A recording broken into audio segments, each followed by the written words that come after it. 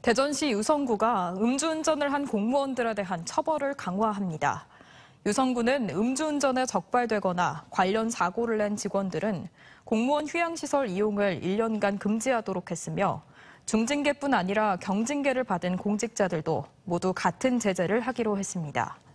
앞서 유성구는 이달 초 음주운전에 적발된 직원에겐 추가 복지 포인트를 1년간 제공하지 않는다는 계획을 세우는 등 반복되는 음주 사고를 막기 위한 노력이 이어지고 있습니다.